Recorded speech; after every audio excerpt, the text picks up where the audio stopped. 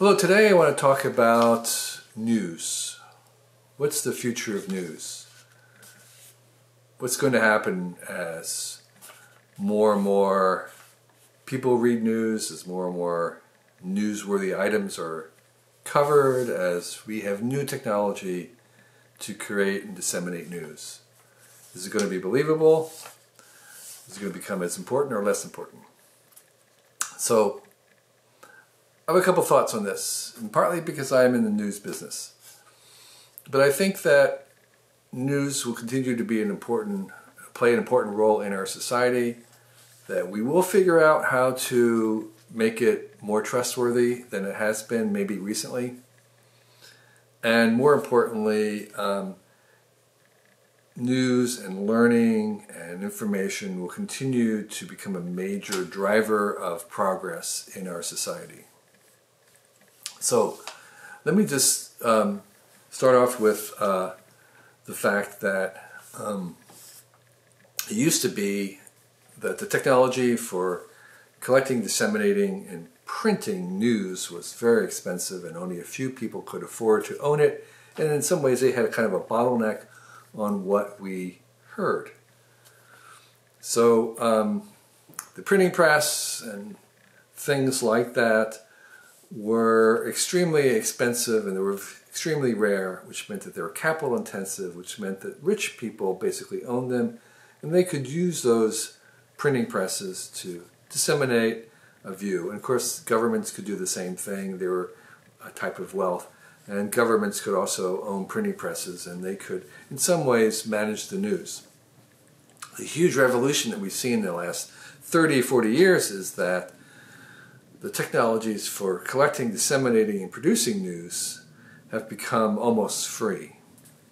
And that has unleashed a huge amount of creativity, innovation, and bad news.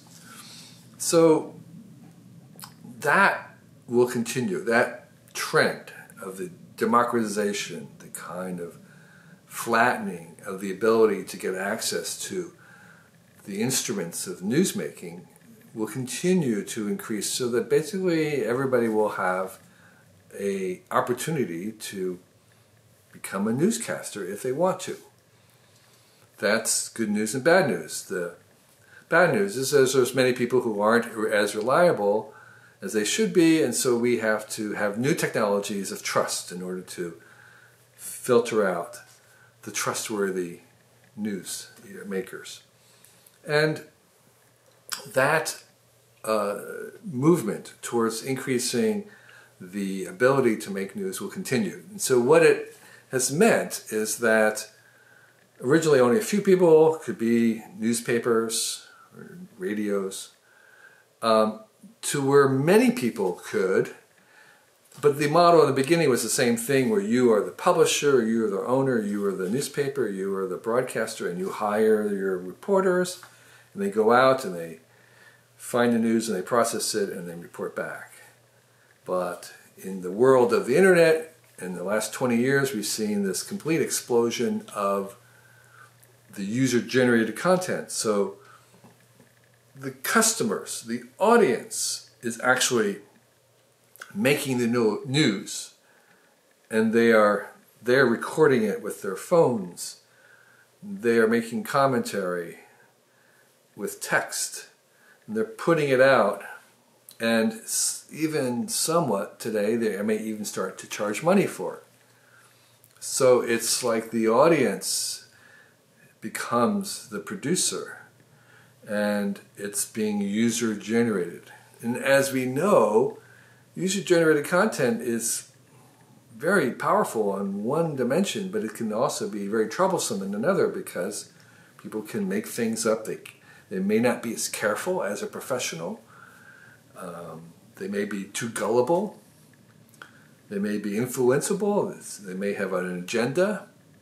So we have to have another layer, another new compensating technology that helps us sort out through this that we didn't have before. We didn't need that before because before it was so rare for anyone to own a printing press or to own a TV station that there was a natural filtering going on um, in terms of being able to um, believe them. But now there isn't that. That's been removed, so we need another technology to help us sort through.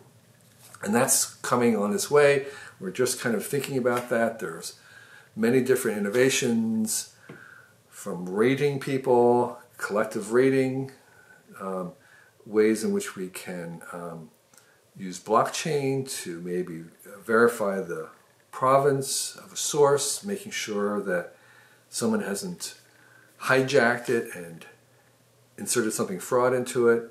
So there's lots of things on the frontier where we're thinking about how to bring that forward. And I think as we go forward into the future, we'll have some of those technologies that will allow us to better filter out what's more reliable and what's not. So that first wave of the new news was this idea again of taking it out of the hands of the few and democratizing it, making it accessible to anybody. And as we know, this also makes it more hackable. Anything that has AI in it, anything that's smart can be hacked.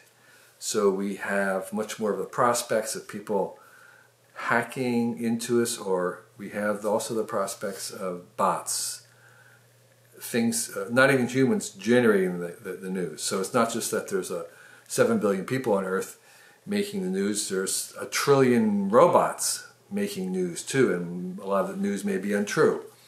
So um, that's part of it. But the second wave of this movement is is the use of AI in helping us produce news. So a lot of what the reporting that we does that we do is programmatic. It's formula. It's there's baseball score. You're, you're, going to report on a baseball game. There's it's a very constrained thing. There's runs, there's innings, or football, soccer.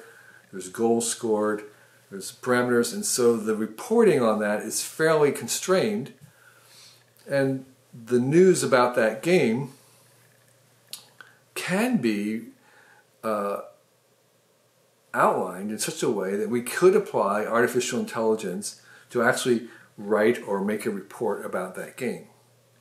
So in addition to all the many humans who are also interested in writing, there's another new entry of having bots help us produce the reports because they're, they can watch every game.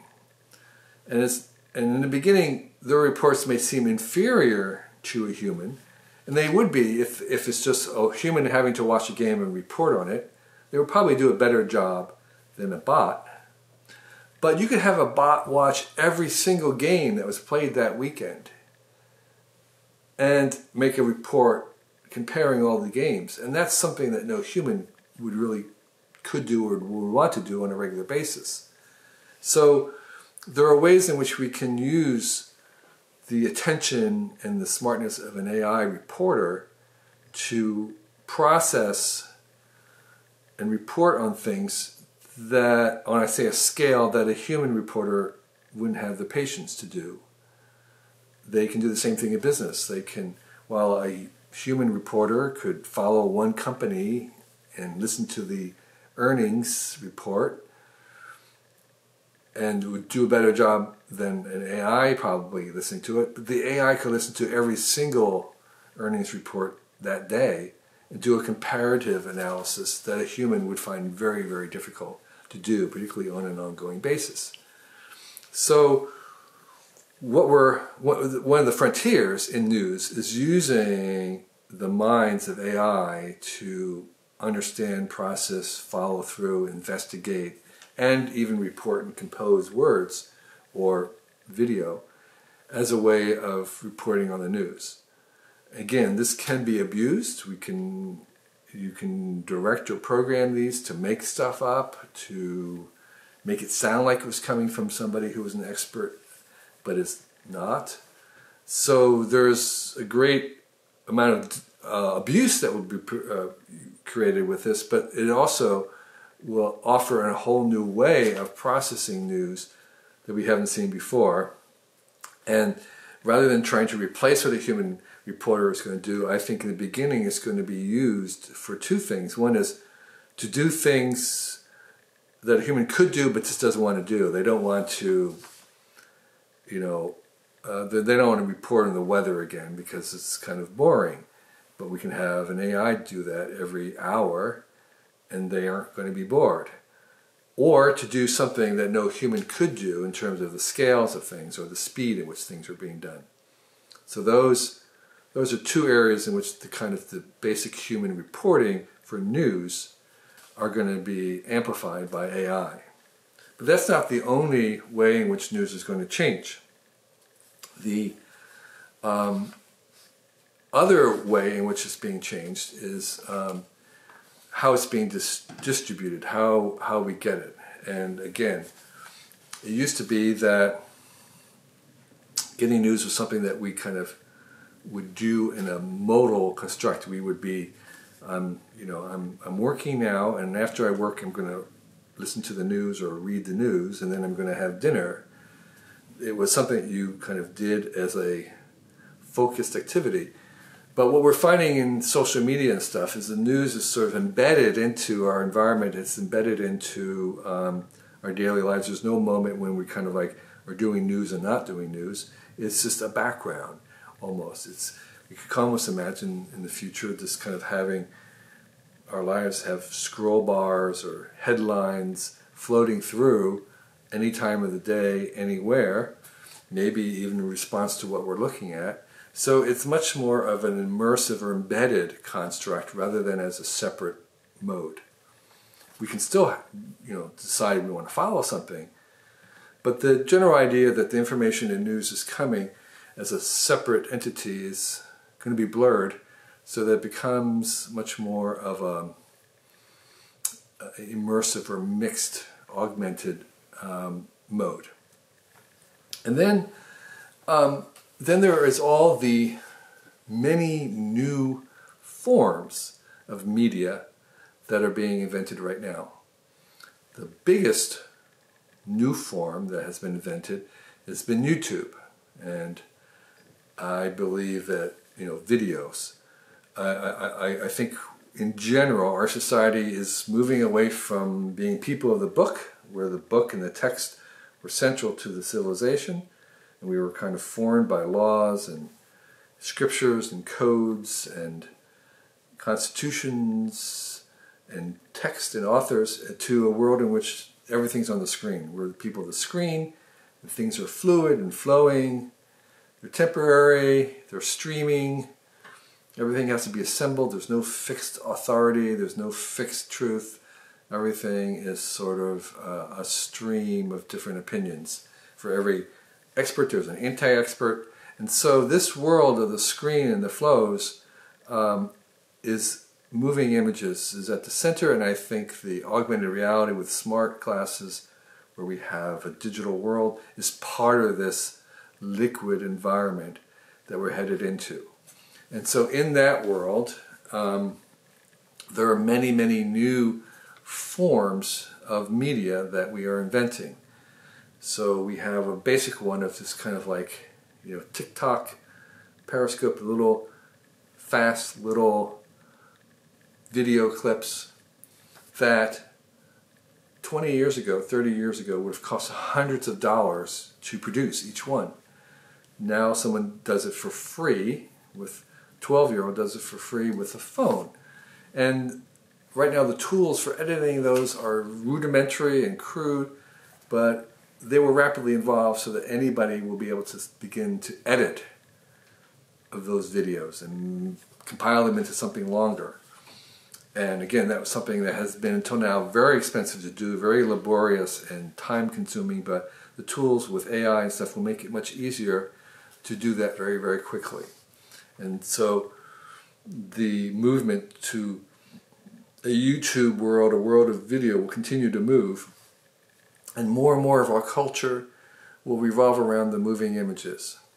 I have long predicted and suggested that we're actually going to take the qualities of the text of reading and meld it together, marry it with moving image so that we'll have movies that we read and books that we watch We'll have text and images flowing together. We see some of that happening with some of the news sites where they use words and text.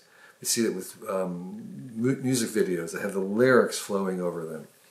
So there's much that yet to be discovered about new media, and I think one of the possibilities that we're looking at, not the only one, but many of those, one of those possibilities is this convergence of reading and watching together at the same time. And particularly as we get into the realm of informational works, it used to be called tutorials or how-to books or instructional stuff, learning, educational. That's a huge, huge area and where moving images are going to be very, very important in the power for them to teach. And in that realm, I think this convergence of text and moving images will become very important. And particularly as we move into, again, the world of the smart glasses where we have three-dimensional volumetric experiences, um, being able to delve deeper to learn something, sometimes text is the most compressed and the most powerful way to learn something. Sometimes a diagram is, sometimes seeing a video uh, of someone doing something or having a, a shadow puppet that we can actually follow. So there are many, many ways that are part of this emerging universe. And text will still remain one part of that, but it'll be in a way that's not just uh, text on the lines on a book. So I think we should expect even more varieties of media to erupt. Um, there will continue to be short little video clips. There will continue to be little tweets, you know, 240 character tweets. That's a, that's a viable mode that's not going to go away. There'll still be long form articles. There'll be um, 60 minute video investigations. There'll be documentaries. There'll be audio documentaries, which is what a podcast is. There will be um, um, even new ones invented as we move into the mirror world, where we have virtual spaces and three-dimensional immersion. I think we'll have another 20 different media that will blossom in that world. Um, and issues like how do you watch, how, how do you have a movie experience inside a three dimensions? Um, we'll see new game forms. There's the shooter up, there's the strategy games that we have right now, there's the role playing games, but when we have volumetric three dimensional spatial computing, there'll be even more new kinds of games to come out of that. Um, and so I think we're headed into a moment when there are going to be as many new genre, media genres, medias invented as we already have. You know, there'll be, we'll have twice as many in another 50 years, twice as many media genres than we have right now. Um, and a lot of that's going to be coming from moving into the spatial world and having um, combinations of, as I was saying, you know, taking traditional text and putting in three three dimensions, taking music and making not just a music video but a music experience. Um, there are so many new ways to to mix this up and remix them that um, we'll, we'll you know we'll feel sorry for people back in 2019 because we have only X number of, of uh, media. And I think that um, one of the effects of this is that we're going to accelerate the pace of culture, accelerate the pace of learning. I've been very, very uh, impressed by the unappreciated role of YouTube tutorials in accelerating how fast learning happens, where things are, say, even in the realm of like inventing a new media, someone tries something and the next day someone sees that and explains how it was done and how maybe they could do it better and then two days later someone else has taken that idea and improved it and shown it and maybe even someone else describing how it was done and then the third day someone else improves it again, even better, and that kind of speed is one of the ways in which progress is happening and one of the ways that we're accelerating the culture. And it comes because this instructional ability of this new media is very, very powerful in terms of being able to actually communicate something to someone in sufficient clarity and detail that they can actually do it themselves. And that, I think, is sort of the meta media going on, which is this ability to accelerate learning as a culture that will really make the next 50 years far more amazing than the past 50 years. So that's what I think the new media is going to look like.